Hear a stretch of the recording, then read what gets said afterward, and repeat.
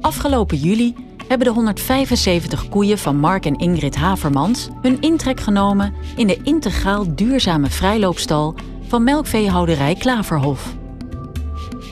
De IDV-stal is het resultaat van Marks zoektocht naar een duurzaam stalsysteem, waarin iedere koe zich goed voelt en zijn natuurlijke gedrag kan uitoefenen.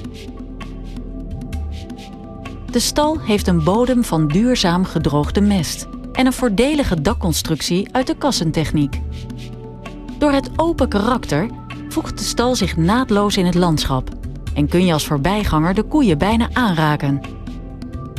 Mark heeft het hele stalconcept ontwikkeld samen met de kassenbouwer, Lely, de composteerder en de mechaniseerder.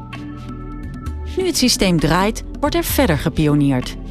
De bedrijfsvoering is dan ook nog volop in ontwikkeling.